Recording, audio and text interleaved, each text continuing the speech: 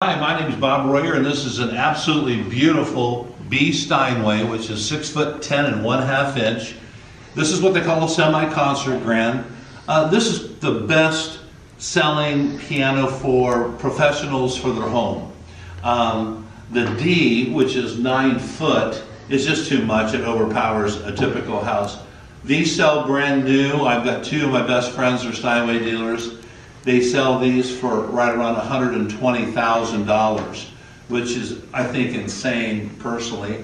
Um, it's all original. Uh, this is a really interesting one because it was part of Steinway's artist series. And if you look real close right here underneath the serial number, it says 393.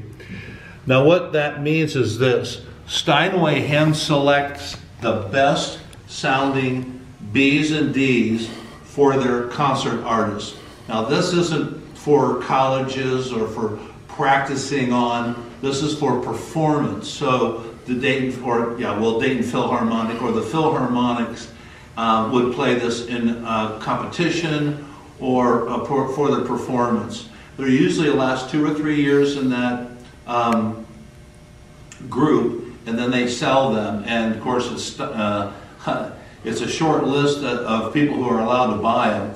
And this gentleman bought it. One guy bought it in Cincinnati, Ohio, just south of us, and it was a one owner. It's all original. There's no Teflon bushings. Uh, it's got a nice artist bench with it. But the soundboard, the bridges, the action, everything is in excellent condition. Uh, we encourage you, if you want to have your own independent piano technician, um, come in and examine it. That'd be, that's fine.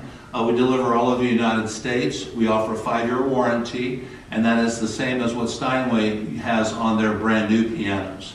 Uh, this is a fraction of, uh, we're pricing it a fraction uh, of what a new one would cost, and these will last a long, long time. I mean, a long, long time.